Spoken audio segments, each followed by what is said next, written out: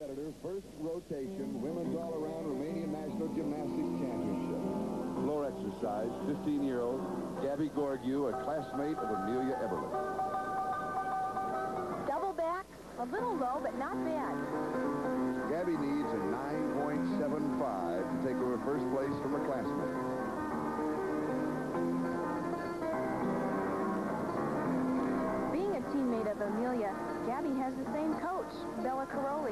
Wife, Marta, has done the choreography for this routine.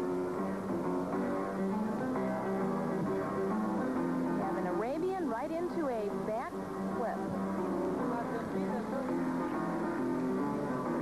This routine also looks a little bit like Nadia's routine that we saw in the 1976 Olympics. Very feverish. She's like a mechanical doll. You just wind her up and let her loose.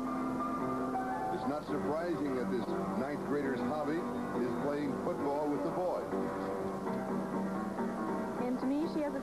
resemblance of the Soviet gymnast Nellie Kim.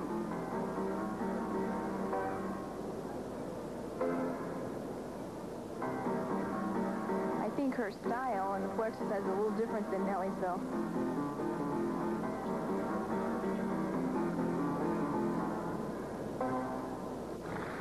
Gabi Gheorghiu. Nancy, I'm not sure I like this type of routine. Well, she has a sort of haphazard type of choreography, which makes it difficult to judge. Back, she doesn't quite get enough height and lands a little low. The score for Gabi Gheorghiu, a 9.45.